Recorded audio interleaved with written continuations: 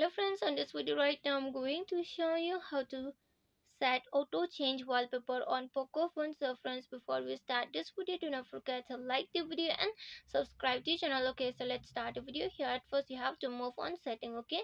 When you move on setting you have to scroll on the down and here you have to click off on the lock screen okay? Here's the lock screen option. So here here you have to click on the lock screen.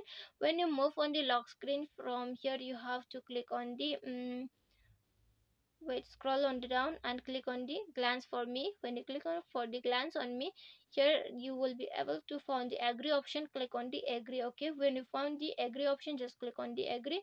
Suppose i turn off this one. After that it's uh, other okay? Just turn off and i want to on this one just click on the turn on. After that it has been turned on. Okay just click on the on.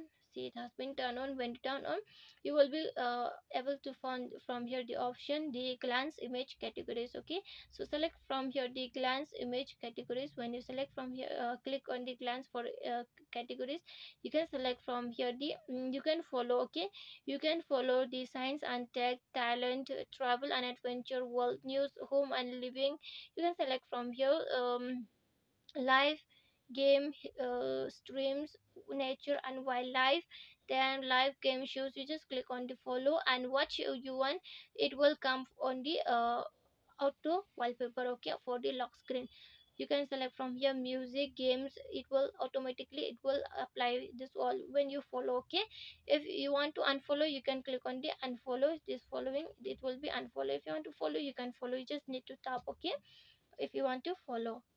So friends hope you love the video and if you love the video please like the video share the video and subscribe to the channel friends. Thanks for watching. Bye